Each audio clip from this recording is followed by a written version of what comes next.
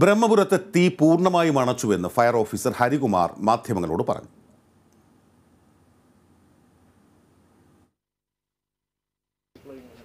നമ്മൾ തീ ഇന്നലെ വൈകിട്ട് അഞ്ചര മണിയോടുകൂടി നമ്മൾ കംപ്ലീറ്റ് പുകയും തീയല്ല പുകയും നമ്മൾ ഇല്ലാതാക്കി. ഇനി നമ്മൾ കുറച്ച് ദിവസം അതായത് ഇനി ഒരു അപകടം ഉണ്ടാകാൻ പാടില്ല. ഒരു ഒരു തുള്ളി പുക പോലും ഉണ്ടാകാൻ പാടില്ല. അതിന്റെ അടിസ്ഥാനത്തിൽ നമ്മളിതിന് വളരെ ഒരു സ്റ്റാൻഡ് ബൈ ഡ്യൂട്ടി അതായത് ഏഴ് ക്രൂ അടങ്ങുന്ന ഏഴ് വാഹനങ്ങളും അതിന്റെ ക്രൂ അടങ്ങുന്നത് ഇവിടെ പല മേ സെക്ടറുകളുണ്ടായിരിക്കും അവരിങ്ങനെ രണ്ട് ഷിഫ്റ്റിലായിട്ട് ഇങ്ങനെ വന്നുകൊണ്ടിരിക്കും. ഡ്യൂട്ടി അറേഞ്ച് ചെയ്ത് കഴിഞ്ഞിരിക്കുകയാണ്. പിന്നെ അതുകൂടാതെ മോണിറ്റർ ചെയ്യുന്നതിന് വേണ്ടി പെട്രോളിംഗ് സംഘം ഉണ്ടാവും.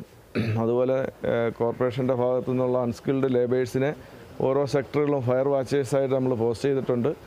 അവരുമായിട്ട് നല്ലൊരു കണക്ഷൻ നമ്മൾ ഫോൺ വഴിയും മറ്റ് വാക്കി ടോക്കി വഴിയും അവരുമായിട്ട് കണക്ട് ചെയ്യുക ഏതെങ്കിലും ഒരു പുക ഏതെങ്കിലും ഇരുപത്തിനാല് മണിക്കൂറിനുള്ളിൽ എവിടെയെങ്കിലും ഉണ്ടാവുകയാണെങ്കിൽ അത് അന്നേരം തന്നെ എക്സ്റ്റിങ്ഷ് ചെയ്യാനുള്ളൊരു നടപടിയാണ്.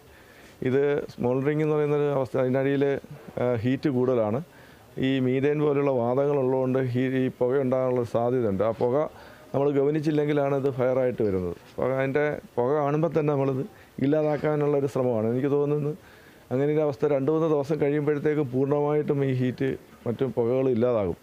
അതിനുശേഷം ഒരു സുസ്ഥിരമായിട്ടുള്ള ഒരു ഒരു ഡെഡിക്കേറ്റഡ് ഫിക്സഡ് ഫയർ ഇൻസ്റ്റലേഷൻ ചെയ്യുന്നതിന് വേണ്ടിയുള്ള പ്രപ്പോസൽ ഇന്ന് തന്നെ നമ്മുടെ വകുപ്പ് റീജിയണൽ ഫയർ ഓഫീസർ നൽകുന്നതാണ് കളക്ടറിലേക്ക് അപ്പോൾ അതിന് ശേഷം ഇവിടെ ഹൈഡ്രന്റ് കണക്ഷൻസ് കൂടുതൽ വരും.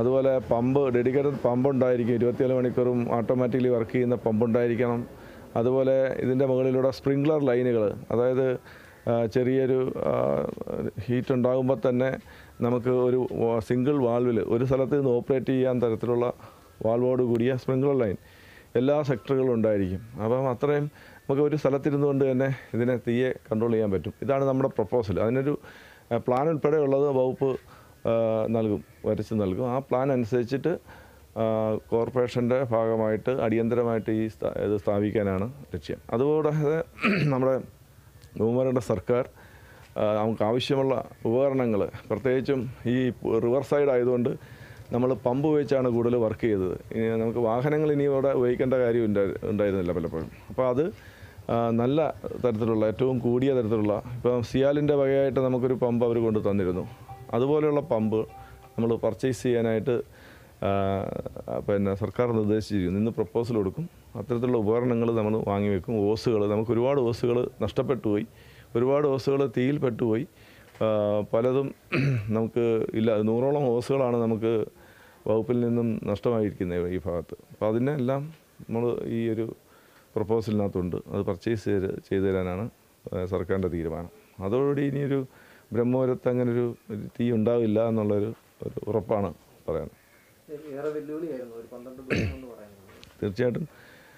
നമ്മുടെ റീജിയണൽ ഫയർ ഓഫീസറിന്റെ നേതൃത്വത്തിൽ വിവിധ നിലയങ്ങളിൽ വന്ന സ്റ്റേഷൻ ഓഫീസർമാരുടെ നേതൃത്വത്തിൽ നമ്മുടെ ഫയർ ആൻഡ് റെസ്ക്യൂ ജീവനക്കാർ രണ്ട് ഷിഫ്റ്റായിട്ട് അവരുടെ മനുഷ്യ ഒരു മാനുഷിക പ്രയത്നം എന്ന് പറയുന്നത് കഠിനമായ ഒരു പ്രയത്നമായിരുന്നു. ഒരു പന്ത്രണ്ട് മണിക്കൂർ ഉള്ള രണ്ട് ഷിഫ്റ്റായിട്ട് തിരിച്ചാണ്. നമ്മളെ സഹായിക്കാനായിട്ട് മൂന്നാമത്തെ ദിവസം തൊട്ട് സിവിൽ ഡിഫൻസിന്റെ സേനയെ നമ്മൾ ആശ്രയിച്ചു. നമ്മുടെ തന്നെ വകുപ്പിലുള്ള സേനയാണ്.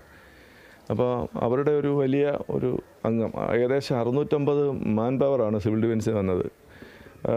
അഞ്ഞൂറോളം പേര് വ്യക്തികളായിട്ടും നൂറ്റമ്പതോളം റിപ്പിറ്റേഷനാണ് അങ്ങനെ അറുന്നൂറ്റമ്പത് മാൻ പവർ സിവിൽ ഡിഫൻസിന്റെയും മൂവായിരത്തി അഞ്ഞൂറ് manpower fire and rescue സർവീസിന്റെയും പന്ത്രണ്ട് ദിവസം നമ്മൾ ഉപയോഗിച്ചിട്ടുണ്ട്. അപ്പം ഇതെല്ലാ ക്രെഡിറ്റുകളും നമ്മുടെ ജീവനക്കാർക്കാണ് കൊടുക്കേണ്ടത്. അവർ നമ്മുടെ ബഹുമാനപ്പെട്ട സിറ്റി പോലീസ് കമ്മീഷണർ ഈ ഫിനിഷിംഗ് സമയത്ത് അവിടെ ഉണ്ടായിരുന്നു.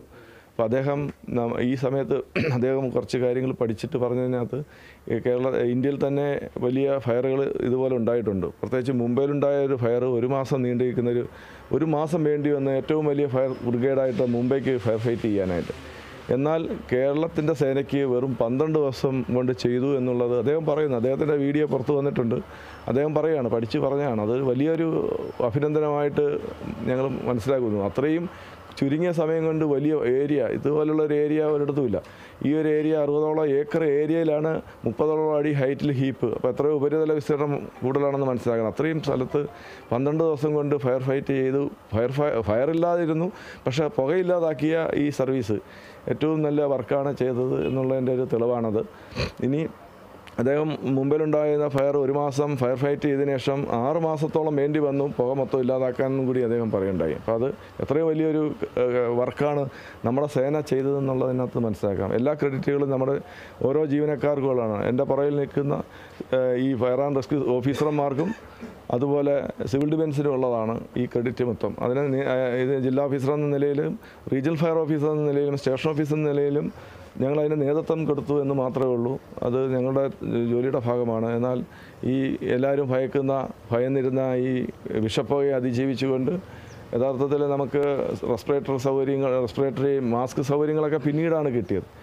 അപ്പം ഒരു മൂന്ന് നാല് ദിവസം ഈ വിഷപ്പുക ഈ വിഷാംശം അടങ്ങിയ പുക ഉണ്ടായിരുന്നു. പിന്നെ അഞ്ചാമത്തെ ദിവസം തൊട്ട് എനിക്ക് തോന്നുന്നു അങ്ങനെയുള്ള ഒരു വലിയ ഒരു വിഷയം ഉണ്ടായിട്ടില്ലാർക്കും അപ്പോൾ ഇതിനെ അതിജീവിച്ച് ഫയർ ഫൈറ്റ് ചെയ്ത നമ്മുടെ ജീവനക്കാർക്ക് തന്നെ എല്ലാ ക്രെഡിറ്റുകളും ഉണ്ടാകുന്നു. അതുപോലെ വേറൊരു കാര്യം കൂടെ പറയാം. ഈ സിവിൽ ഡിഫൻസും ഫയർ അല്ലാതെ വേറൊരു സേന പോലും ഞങ്ങളെ സഹായിക്കാൻ ഉണ്ടായിരുന്നില്ല എന്നുള്ളതാണ്. പോലീസുകാരുണ്ട് അതല്ല അവരുടെ ജോലിയല്ലല്ലോ ഫയർ ഫൈറ്റിംഗ് എങ്കിലും അവർ ഇരുപത്തിനാല് മണിക്കൂർ നമ്മുടെ ഒപ്പം ഉണ്ടായിരുന്നു.